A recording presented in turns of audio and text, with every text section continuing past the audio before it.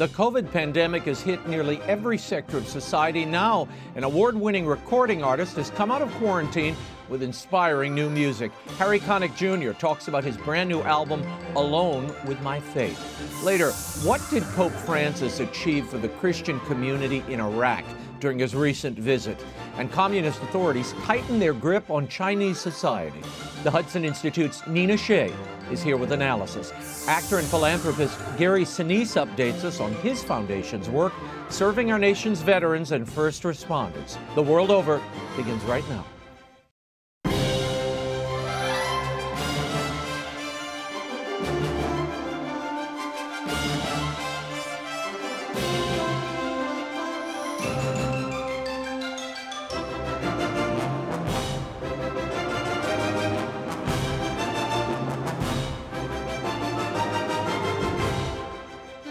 Now, Raymond Arroyo. A warm welcome to all of you joining us in the United States and the world over. Harry Connick Jr., Nina Shea, and Gary Sinise are all straight ahead. If you'd like to comment on tonight's show, send me a tweet. I'm at Raymond Arroyo. Let's start. He's a singer songwriter who's sold over 30 million albums worldwide, winner of three Grammys, two Emmys, not to mention multiple Tony nominations for his work on Broadway. My next guest used the COVID isolation for inspiration, quite literally. He joins me tonight to talk about his brand new album, Alone with My Faith, out March 19th. Please welcome back to the program my fellow New Orleanian, Harry Connick Jr. Harry, great to be with you. It's good to be with you too. Thanks for having me. Hey, great to have you back on the show. I'm upset we can't do this in person, but before we get to the new album, Alone with My Faith, how has this pandemic affected you personally? It had to be rough not having that audience and the band within reach and regular contact. You know, to be quite honest with you, as much as I love music and I love my band, the last thing on my mind is is performing. You know, what was really tough is, you know, the the loss. Um, lost a lot of mm-hmm. people in my friend and family circle over the last year, and and you know, not being able to celebrate their lives or you know, grieve in a, in a normal way has been has been pretty tough. But that said, it's been um, a year of unexpected surprises and blessings. So it's been unusual, but but it's it's turned out pretty well in many ways too. Mm-hmm. You did stay connected to your audience through your Hunker Down with Harry episodes on YouTube. I've seen a few of those. How how did producing those episodes keep you grounded? Um, I think that I, I, didn't need to be kept grounded. I mean, it was it was you know a pandemic, so you know uh, nobody mm-hmm. was thinking about anything except you know the the, the safety and, and well being of of others. Uh, I, I, just wanted to do something that maybe gave people a little bit of a break, gave them some um, some entertainment because at that time, you know, last March, you know, nobody really knew what was happening. So I right. figured let me let me do something in real time. Um, with with people asking questions and giving them some entertainment that was that was specially made for them and and uh, I just hope that for the people who saw it it gave them a little bit of a break maybe some comfort yeah, yeah. No, well, it was again that connection is important. I think, particularly when people were so at sea during the early days of this pandemic. At what point did you start feeling the inspiration to record this new music? And did you know right away what you wanted to record? Well, I knew I, I, always wanted to do a gospel album just because I love so many of those great songs, and I never really mm-hmm. got around to it because there there's a lot of other things I want to do too. So when I got home, I have a studio at home, and I have a lot of instruments that I've collected over the past 30 years, and I thought, well, maybe this is a good time to do that. So I started recording some familiar songs like um, "Old Rugged Cross" and "Amazing Grace," and then I started thinking, well, what about writing some music that describes how I'm feeling right now. And to be quite honest with you, sometimes um, I, I, felt okay, and other times I, I, was questioning a lot of things. And so I wrote about mm-hmm. faith from many different perspectives. And so this album turned into an album of faith uh, as opposed to just a, a Christian gospel album. Although it does have mm-hmm. Christian songs on it, it's really an album that's made for for me to help me get through this time and and to give some some folks out there uh, a little peace of mind too. Mm-hmm. Well, look, uh, what I love about it is you set up all your own microphones, you played all the instruments, acted as your own engineer. I mean, Paul McCartney did something similar with his new album. Uh, and you recorded all of this. Um, uh, at a time when uh, you know everybody's broken up, you can't get together, you can't come together, and for a musician, that interplay and collaboration really is at the heart of what you do. Um, by doing this all yourself, was this just a function of lockdown, or was it by design? Because it is so intimate, and the whole album feels very intimate here. Well, it is really intimate, and and it is it, it's um, it happened as a result of not being able to communicate with anyone, uh, which is why there were no other musicians here or you know no recording engineer. But you know, I, I played mm-hmm. solo mm-hmm. so much my whole life that it feels real comfortable to me. I've never done an entire mm-hmm. album where I do everything. I've done songs in the past where you know I put 30 vocals down or I uh, play all the instruments on a song here or there. But this was the first time when I literally did everything, and and that was uh, mm-hmm. only because there was no other option. And I'm I'm glad I had a chance to do it because I don't know, you know, when that time would have come. Right. Why songs of faith and devotion? And what inspired you to explore this sacred ground? Was it because of that um, the isolation that you and so many of us were going through that it caused introspection and you thought this is where I should be focusing my musical energies now? I thought so. Uh, you know, pretty much. I, I, think that's the reason because you know, as as I was going through it, just like you and everyone else, there, there were times for me that that that I really struggled. I mean, I think the the amount of people that I lost, that I know, family or friends over the last year, is up to 14. Um, most wow. of which were as a result of uh, complications from COVID. So there were many days where, you know, you you can't you can't go to funerals, you can't do anything. So, so I, you yeah. know, I had a lot of time to think about my faith, about my spirituality, um, and it, it, it, put my faith to the test in the best of ways because those are the times when I really need it. So uh, it felt mm. natural for me to sing songs about it, and the songs that I was singing actually helped get me through, which is what they're designed to do. So it was it was an experience that probably wouldn't have happened otherwise, but I sure am glad it did. Yeah. I remember interviewing Aaron Neville years ago, and he said during his you know, battles with drugs, he would always sing Lovely Lady Dressed in Blue, and he'd sing it to himself. And it was a prayer that became, he said, medicine for my soul. You know, it, it, it soothed him through that rough patch. And it seems we all need that. Now, I want to give people a little taste of this album, Harry.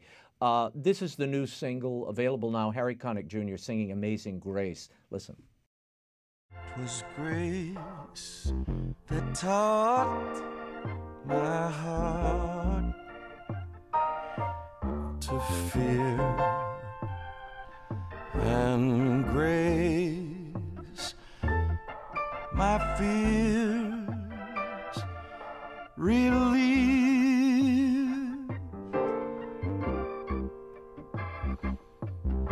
I How precious did that grace appear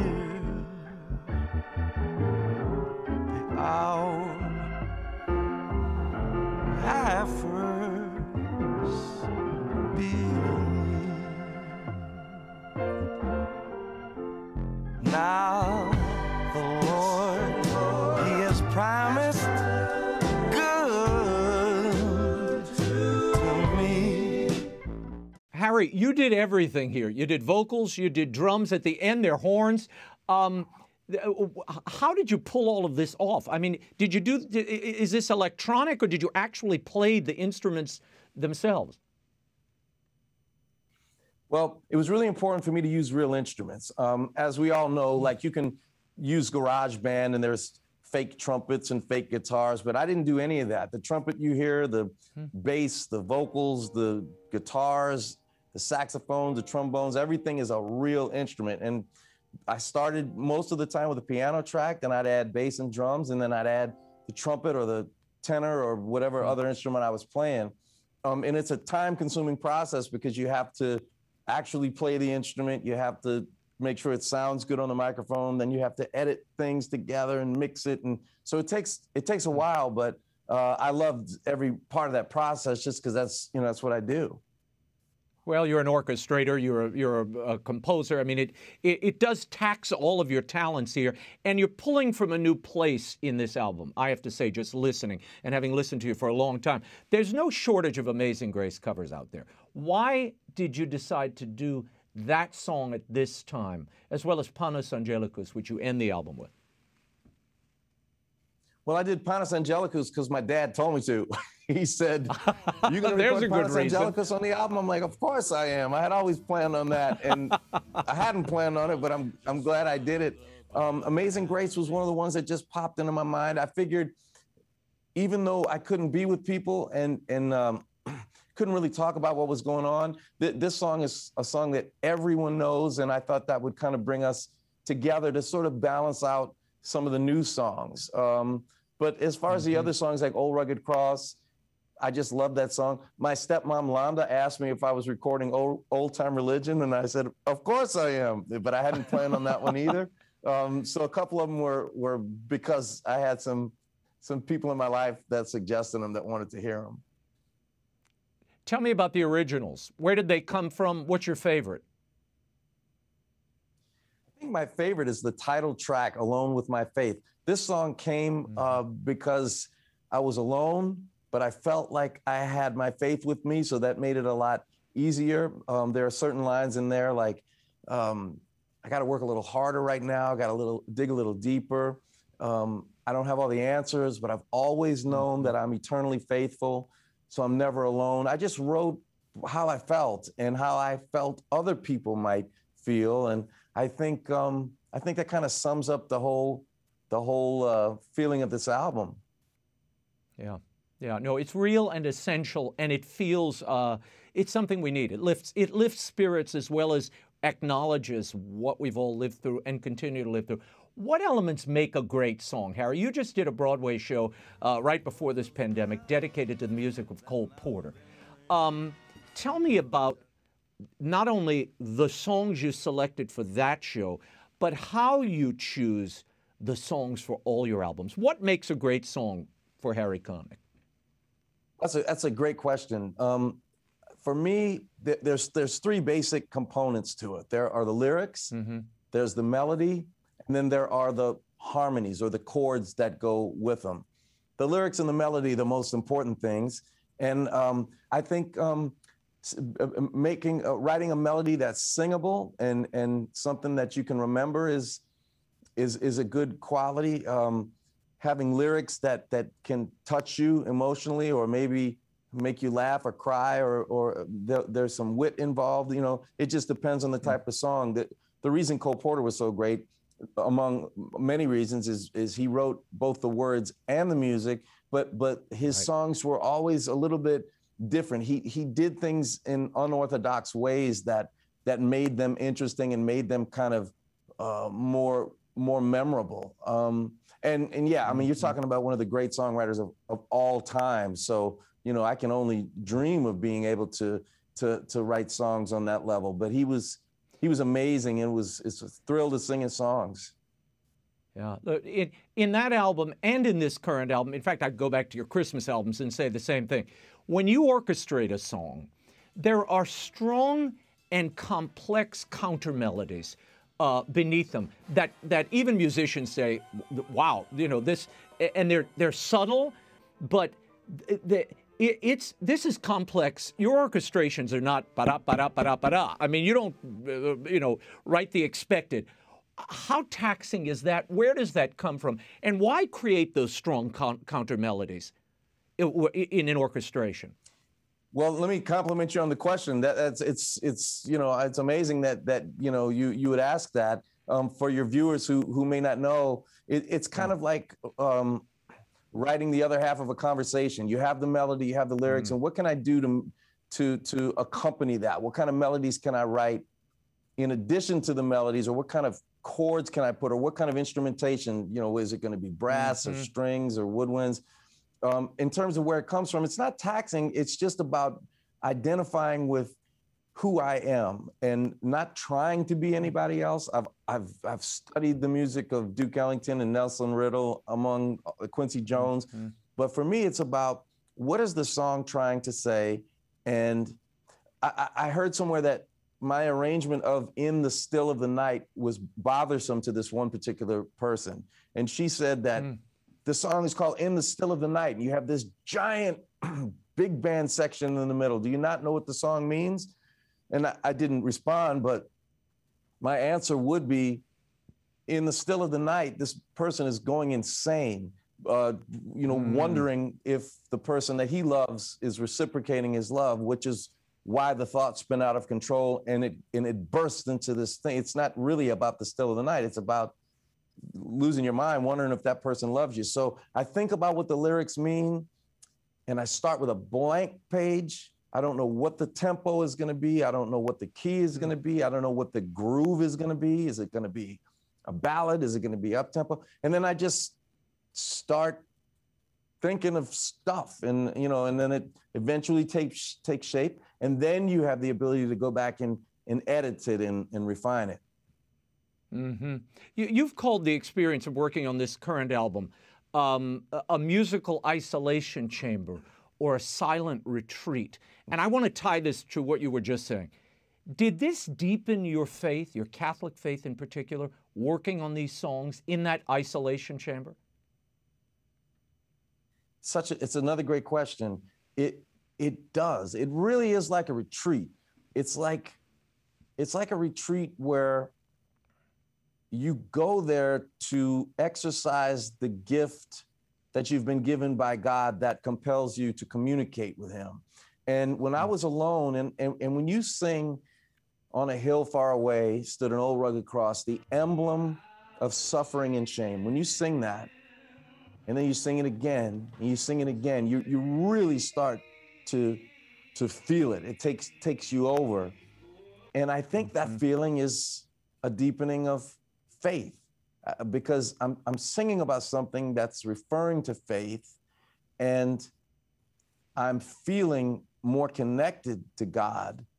And I think that's what's happening. I think I think that is actually a deepening of faith. It's a it's a it's a real-time confirmation of what the song is about. So yeah, I think I think it is a, mm-hmm. a deepening of, of faith. Well, and, and I would argue, and you mentioned it a moment ago, when you're working, you know, when you look at that blank page and you're crafting a an orchestration and taking something so established and known in the public's mind and you're refashioning it and working it through your own experience, that that itself is its own retreat. I mean, I know from working on books, you you get into that zone, and then there's Same the thing. stuff you never planned for, Harry. There's the you know the Holy Spirit, yep. if I could give it a name. Um, and that's what I hear in between that's the cracks the of this album. You, you, you're articulating it far more eloquently than, than I could. It's, it's exactly right. My dad has dedicated his life to understanding the Holy Spirit and written a thing called the Spiritual Mysteries. Um, and it's amazing. And that's that's what I think it is. It's like that little tap mm-hmm. on your mm-hmm. shoulder that maybe yep. says, "Hey, write this down." You know, it's got to come from somewhere and and I think yep. that's I think that's what it is. Now, you got to the point in this album where you were ready for the final mix, but you didn't do that in your house. You rented an RV, you drove home to New Orleans to do the final mix. Why was it important for you to finish Alone with My Faith here in our hometown of New Orleans? Because I, I realized my limitations, and a mixing engineer is a is a uh, is a skill set that I do not possess. So uh, my, my good friend Tracy Freeman, with whom I went to uh, Jesuit High School, lives probably five minutes from where you're sitting right now in Metairie. And he um, is, a, is a brilliant uh, mixing engineer. So I said, Tracy, I'm going to drive down, I'm going to get tested, and I'm going to go into your studio and we're going to mix this thing. And, and that's, you know, that, that's beyond, you know, my job description. So I was glad to have glad to have Tracy in my life to make it sound like a record. Well, and in the place where all that faith originated in many ways for you. Uh, so I, I, I loved that, that there was absolutely. that local touch. Speaking of New Orleans this year, for, for many, this was the first Mardi Gras that was essentially canceled. Now, I know the mayor's office said it wasn't canceled, but the fact is, we didn't have parades, we didn't do anything. Uh, you were one of the founders of the Krewe of Orpheus, which I've ridden in. How did this absence of Mardi Gras, Harry, affect you? People outside of New Orleans don't fully understand this, what it means to us, and the rhythm of life. I think, you know, if I missed Mardi Gras because of a personal issue, or if you missed it because of a personal issue, it would be disappointing.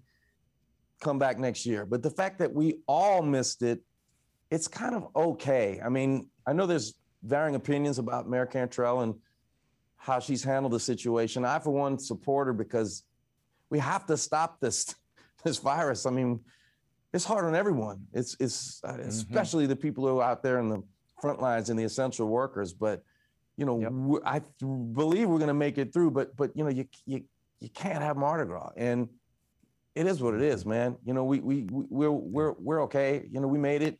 It you know, we would love to go out there and and party, but you know, I think for, for everyone's benefit, it's probably best that we sat that one out. You know.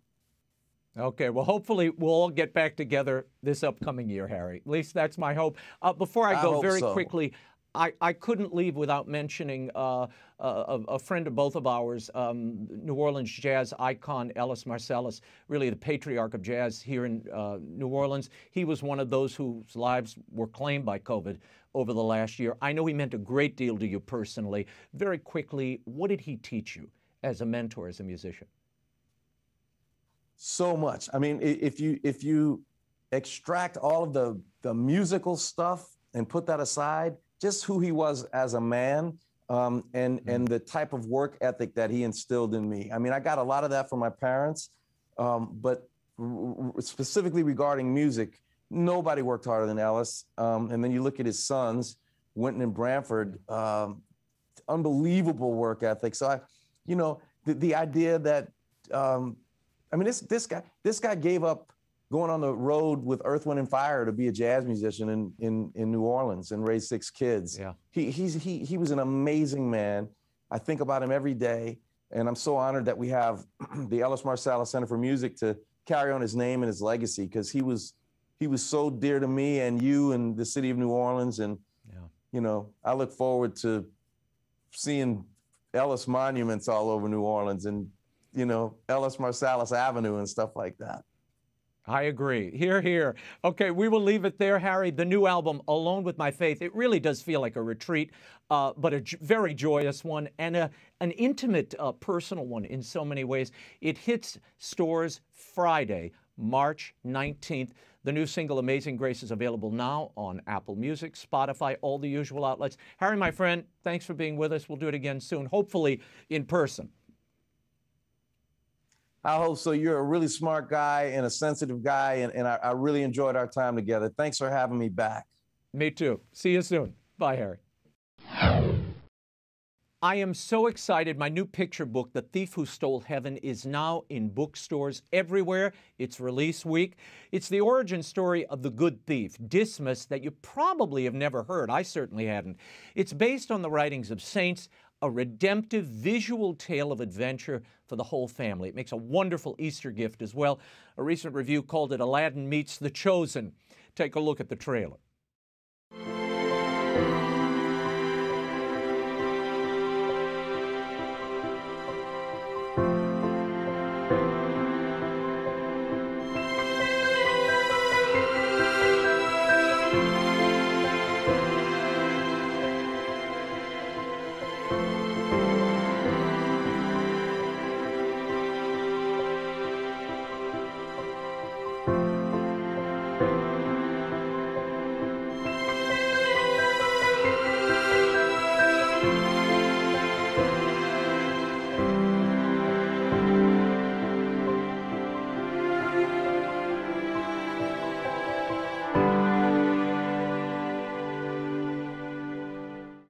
Now you can get an autographed edition of The Thief Who Stole Heaven from the EWTN catalog.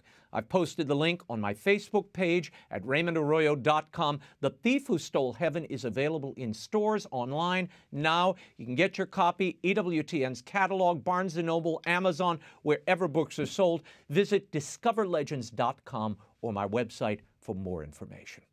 Pope Francis just became the first leader of the Roman Catholic Church to ever visit Iraq. What lasting effect will this trip have in the region? and for Christian minorities there. And as the Chinese communists continue to crack down on religious and human rights, what should the U.S. response be? Joining me to talk about this and much more is Director of the Center for Religious Freedom at the Hudson Institute, Nina Shea. Nina, the Pope's four day visit to Iraq was intended to encourage the Christian population there, who have been, as you know, as we've been reporting for years, decimated by the war as well as the, uh, the, the, uh, the splintering of society. The Pope was also there to nurture ties with Shiite Muslims. Speaking to a packed church of the Immaculate Conception on Sunday, Pope Francis had this to say to the Christian community The road to full recovery may still be long, but I ask you, please, not to grow discouraged. What is needed is the ability to forgive, but also the courage not to give up. Iraq has seen its ancient Christian population shrink drastically, Nina, by about 83% since the U.S. led invasion toppled Saddam Hussein in 2003. Now, given the current climate in the country, is it possible for Christians to return to their homeland? And how do you think Pope Francis's words resonated with them? Well, I think that the visit was extremely important to the people there. I'm hearing from the Christians in Iraq that it meant a lot to them, a lot in terms of solidarity and encouragement. And what it needed to do and what it can do is instill in them a sense of mission that they are there as a continuous representation of the earliest churches. Their faith came down to them only decades after uh, Jesus' uh, death um, by St. Thomas and uh, the apostle. And um, so they have this patrimony, the spiritual patrimony that's important uh, to all of us, to the world, that they remain in the cradle of Christianity, this continuous indigenous Christian presence. And mm-hmm. he did uh, make statements about that, that they are a martyred church, that they have been persecuted, that they had a special role in the cradle of Christianity. Um, at, at his first appearance in the Church of Our Lady of Salvation in Baghdad. And that was at a site of the genocide. That was at the beginning of the genocide. That was even before ISIS, Raymond, in 2010, mm-hmm. when 58 uh, worshippers, uh, Catholics, Syriac Catholics in that church, were either all killed or maimed, including uh, the death of the martyrdom of two priests at that time during Mass. And so this was not lost on them that they, um, and I think that you know there were there were descriptions of, of women weeping inside the church. Some of them had been there that day when that bomb went off. So um, and, and that was deliberate by Islamic extremists. He mentioned the terrorism that they had suffered and that this was preventing coexistence. So I don't think that appeals to just simply stay or that don't pay attention to the money in the West that you could make there, or, well, don't mind the lack of security here um, for the short term or medium term. Um, it, it, you know, that I think that will, that the only thing that would resonate and has resonated with them is this sense that they have a very spe- special mission and role to play in the worldwide church. Mm-hmm. On Saturday, Pope Francis met with the Grand Ayatollah Ali al Sistani. Now, he's the preeminent religious figure for Iraqi Shiites. Uh, the Pope then visited the site of the ancient city of Ur, believed to be the birthplace of the prophet Abraham. Uh, how significant was this meeting, Nina? And what message did that visit with the Grand Ayatollah send to Shiite Muslims in the region? Will it make a difference? Well, um, it is very significant significant. He's a very revered, Ayatollah Sistani. Um, the Christians there now, uh, their biggest um, threat is from Shiite militias. Uh, these were militias that are funded by Iran, backed by Iran. They're taking their land. There's other Shiites, uh, extremists in Baghdad, even who are um, taking properties of Christians. So, what the Pope was trying to um, say was uh, the Pope was saying is that there must be peaceful coexistence. You must ex- uh, respect the rights of all people of Iraq. Um, there's equal dignity in everyone. Uh, so this was an mm-hmm. important message for him to convey as the voice of uh, a stature in the in the Christian world. He was mm. is able to draw attention to the fact that there are problems with coexistence, even with the majority Shiites in Iraq today. Not just mm. the problems with ISIS that is more or less in the past. Nina, during the visit and afterward, the Pope has questioned who is selling the armaments to these terrorists? I want to know who's supplying them with the weapons. He keeps asking that question. What do you think he's getting at there? And who do you think is selling them the weapons and providing the weapons to the to these terrorists, ISIS and others uh, in the region? The, the Shiite terrorists are coming, and militias are the weapons are coming, and money is coming from Iraq, and maybe I mean from Iran, and maybe even some in Iraq.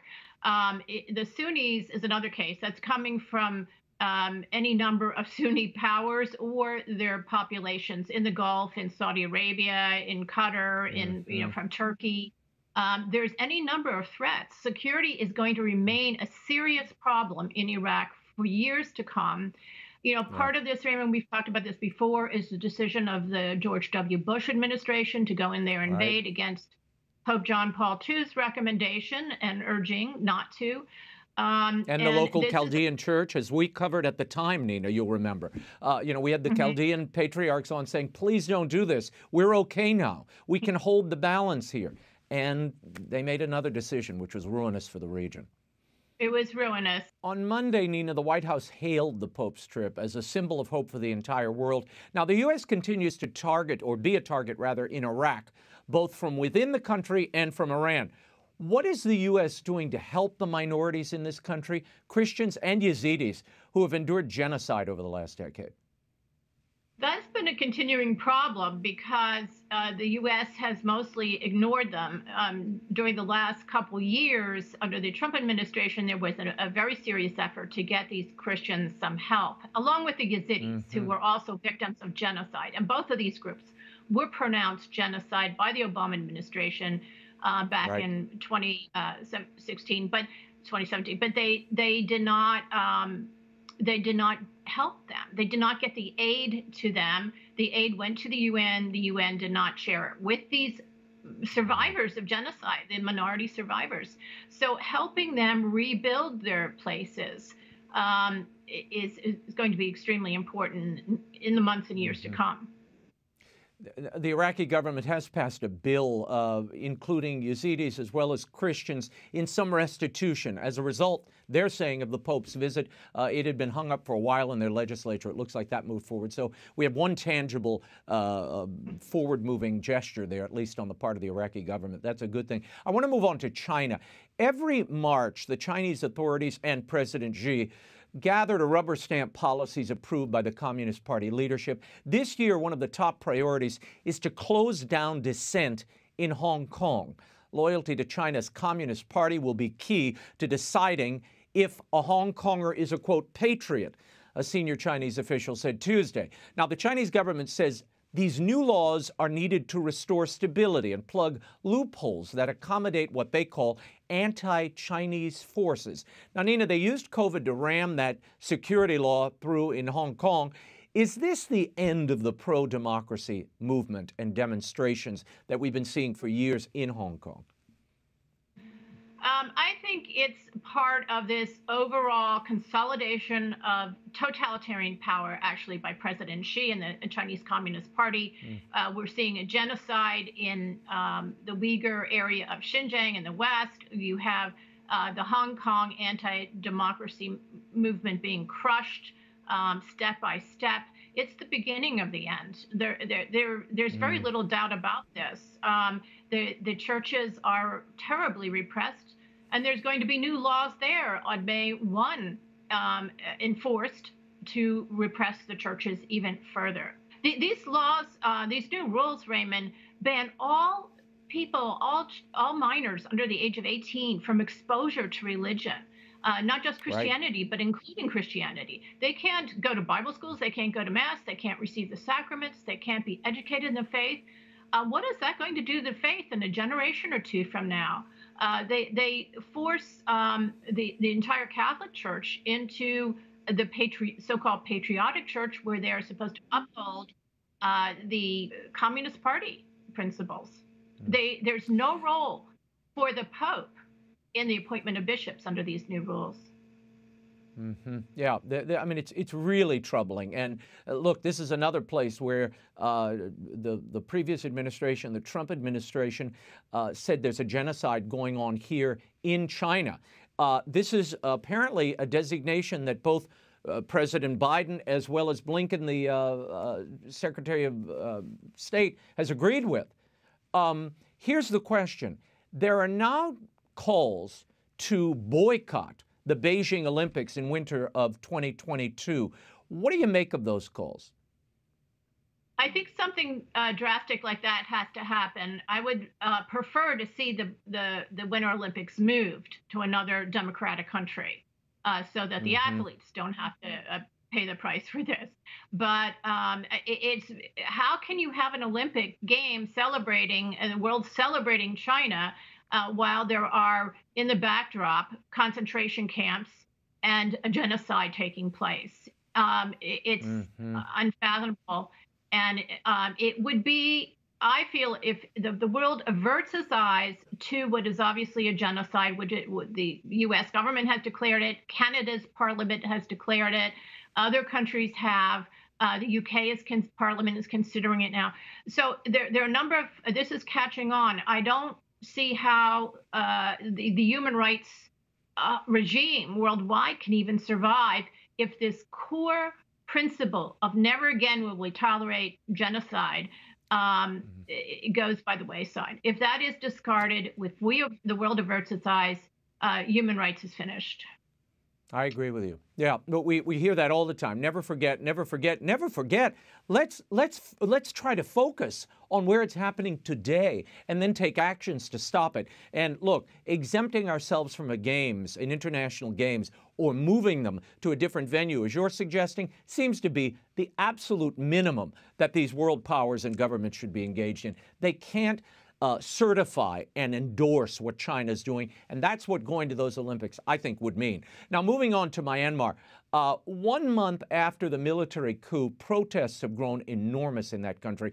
Hundreds of thousands of pro democracy protesters have been fighting for the ousted president. Her supporters are being killed while vowing to push back against dictatorship. Your thoughts on what we're seeing there? And on Tuesday, a Catholic nun, Sister Anne Rose Nutong, uh, begged a group of heavily armed police to kill her and spare the children. The police were there to break up these pro democracy protests. Uh, your thoughts on what's happening there and where this could end? Yeah, it's very similar to what is happening in China. There is a, a complete mm-hmm. uh, cleansing of the ethnic minority, uh, uh, the uh, the Rohingya ethnic Muslim uh, minority community there. they've been through terror by the government and its military pushed out of the country. Half of them have been pushed out, or more than half. Um, and, and, then there's um, actually that nun, uh, Anne Rose. She is from Kachina, which is another area, and uh, Kachin, and and that, that is an ethnic group that has many Christians in it, and 300 churches have been destroyed or burned there, um, again by government supporters uh, over the last 10 years. There's been uh, a great deal of intolerance uh, by the government itself, as well as some fanatics in the Buddhist community um, against these non-Buddhist minorities. There's a what is mm. called a Burmanization of uh, Myanmar, making it more uh, ethnically and religiously uh, uniform by this repression. Mm. In 2015, Pope Francis elevated Archbishop Charles Bo, uh, the cardinal, he made him a cardinal, the first in that country's history. In a statement last month, Bo said, You are in this plight in your unending struggle to bring democracy to this nation. The unexpected turn of events has made you prisoners. We pray for you and urge all concerned to release you at the earliest. Now, Catholics make up only 1% of the population uh, in this country of 54 million, and it borders China, Laos, uh, Thailand, Bangladesh, India. How vulnerable are they, Nina? Well, they're very vulnerable. Um, and I, I want to just say that Cardinal Bo is an incredible hero, incredible uh, church leader. Uh, Raymond, he has just called today for prayers for the Chinese church, even though he's himself, and he says this in his statement, is from Myanmar, from Burma, and his country's going mm-hmm. through these these horrible uh, challenges and troubles and persecutions and genocide, frankly, against the Rohingya Muslims.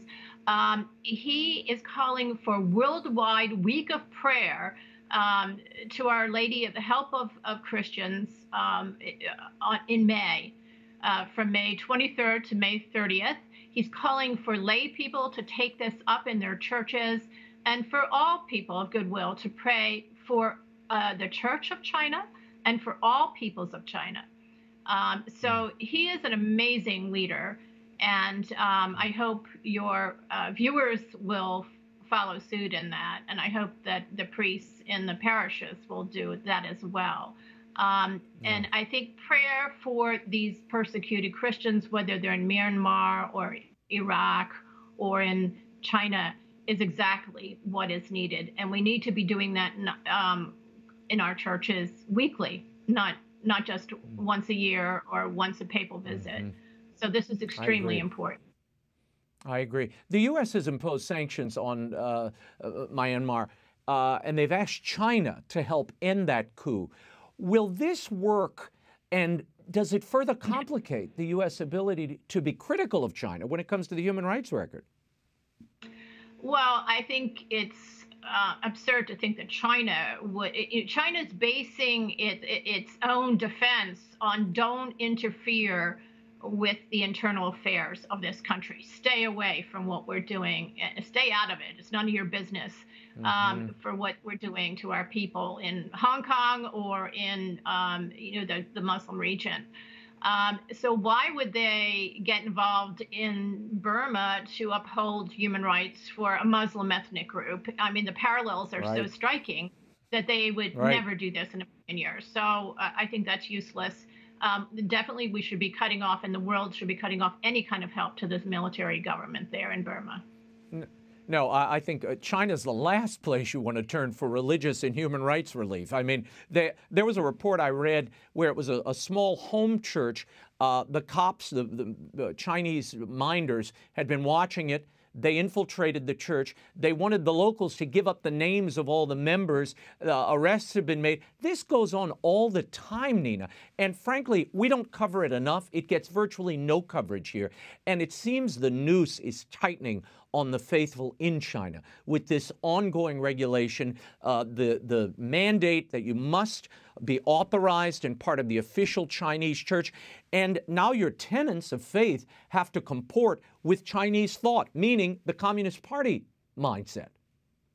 That's right. There's only one ideology permitted that is communist um, ideology. Mm-hmm. Uh, the churches, that's the real reason why the churches and the Muslims and the Tibetan Buddhists and the Falun Gong, every single one of them are being shut down, crushed, constrained and turned into really propaganda, propaganda centers um, or surveillance centers for the Communist right. Party, is because they will not tolerate any uh, competition of ideas.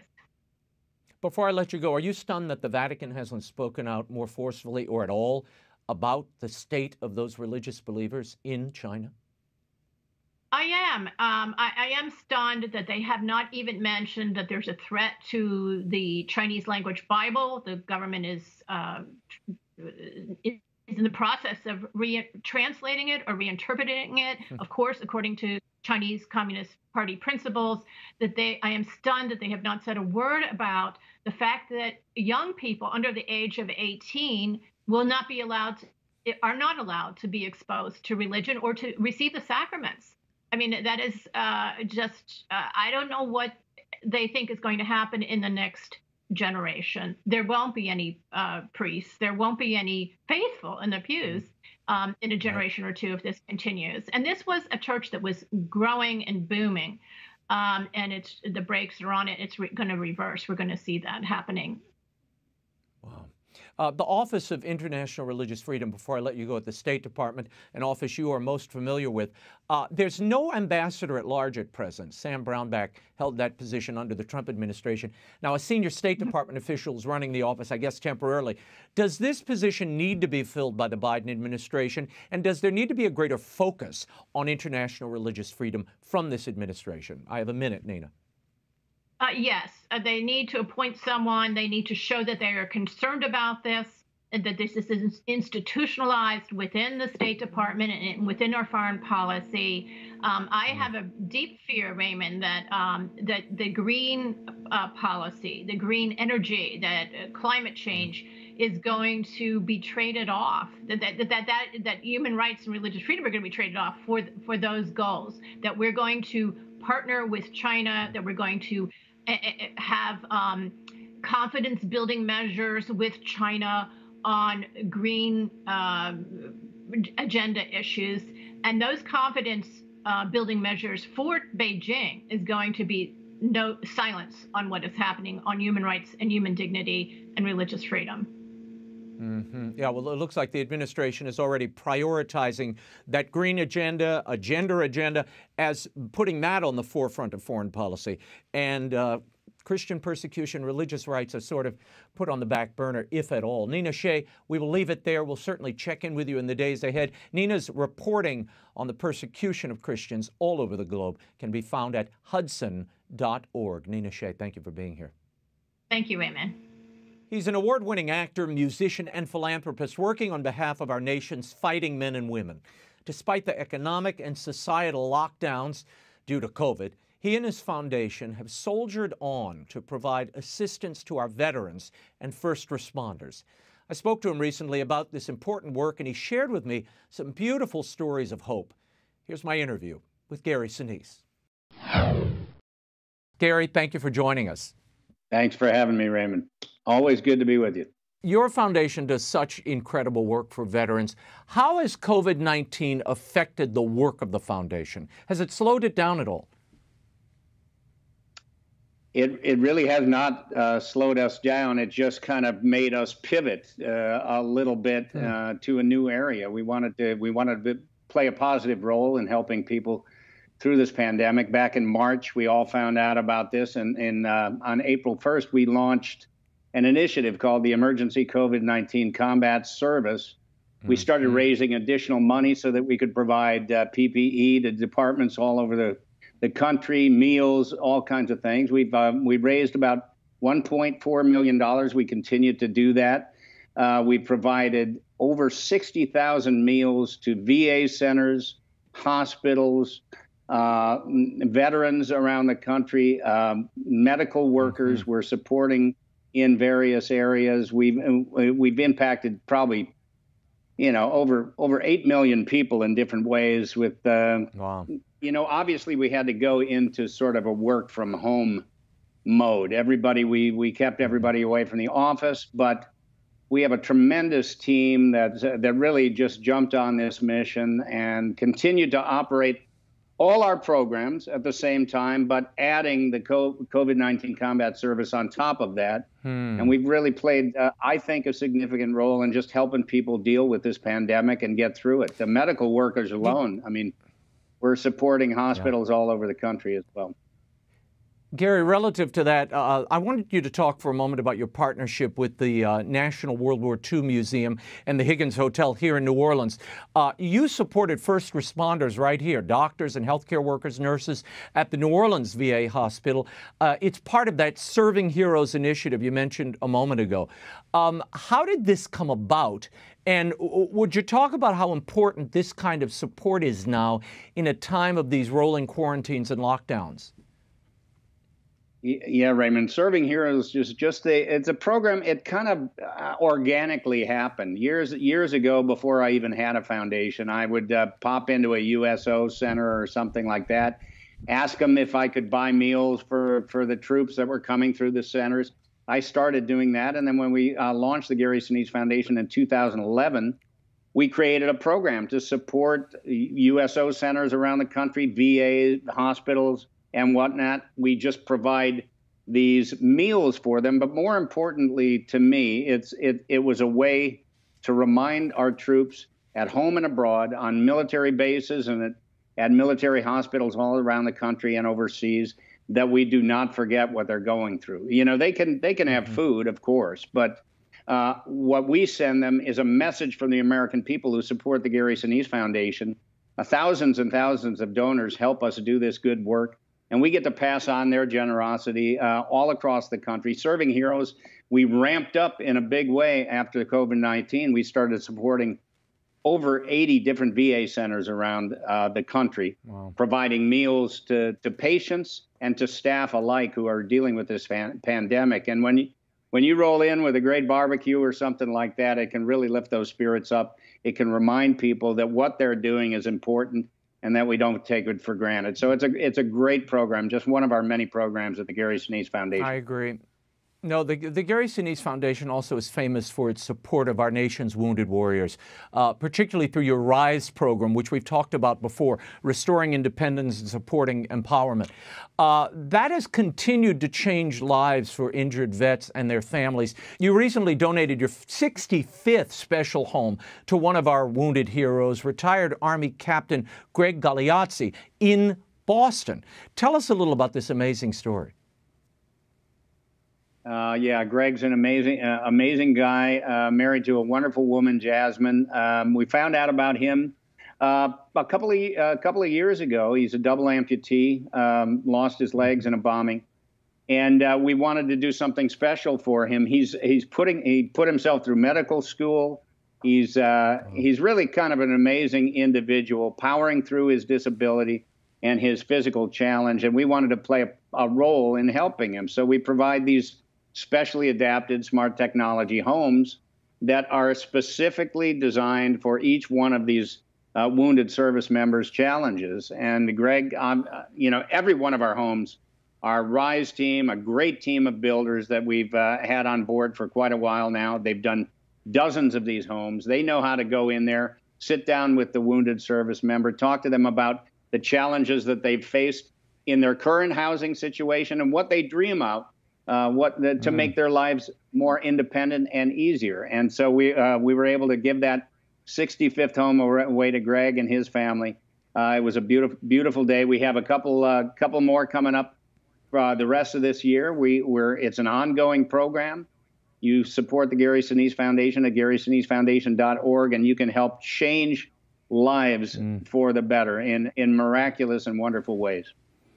Gary, we, we, cover such horrible things day in and day out, uh, particularly, uh, you know, from my vantage point. It's, uh, and that's why I wanted to have you on because though people give lip service to the veterans, it is rare that people actually do things or organizations do things to make their lives tangibly better. And that's really what you and the, the folks at your foundation do day in and day out, whether you're getting covered for it or not. And speaking of honoring veterans, you recently helped celebrate the birthday of America's oldest living World War II veteran from right here in New Orleans, uh, Private Lawrence Brooks.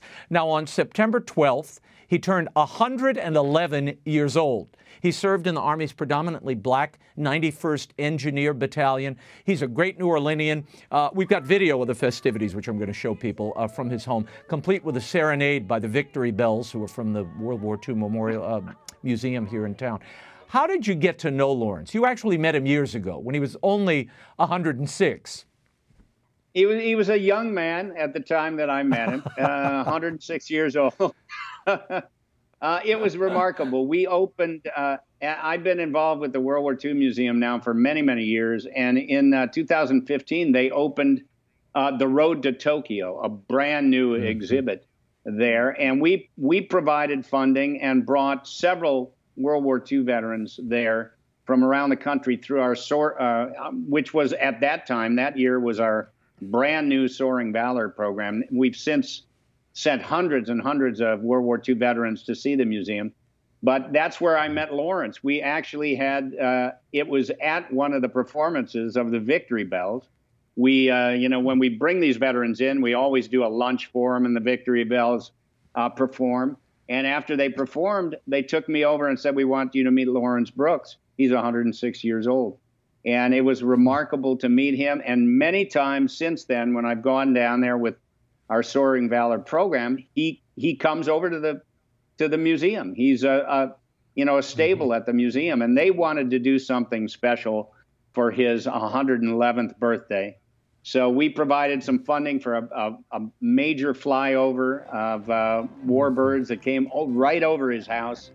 And uh, the victory belles came out there and sang, and it was just a wonderful thing. He's he's seen so much in his life, uh, and, and he's and he's just a man who has great peace and love in his heart. I hope you get to meet him someday, uh, if you haven't already, Raymond. He's a no, I, I have guy. met him with the, the kids down at the museum one day. I, I, I, met him years and years ago. And, you know, here's a guy who lived through the 1918 pandemic, and here he's surviving the latest one as well. That's a, that's a pretty good stretch uh, there. Amazing man. Mental health, Gary, is an important consideration this year in particular.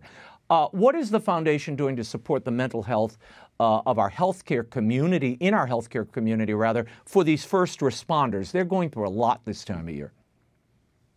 Um, yes, quite quite quite a bit. This is a, a, difficult time, obviously, for our medical workers and first responders. Everything we do at the at the Gary Sinise Foundation, Raymond, the, the the heart of it, the soul of it, the the heartbeat of it is improving someone's mental health it's making them feel better. And it all started when mm-hmm. I just volunteered to go uh, to military bases and shake hands and take pictures and sign autographs. And then I started taking my band there to, to entertain them. It was all about lifting spirits, raising people up. So every one of our programs that we have at the Gary Sinise Foundation is about that. And, and what we're doing here by providing all these meals, thousands and thousands of meals to medical workers in hospitals all across the country, is just to lift them up and let them know that what they're doing is important, it's valued. We don't take it for granted. It's a difficult time. We want them to feel better and we want them to know they're supported. So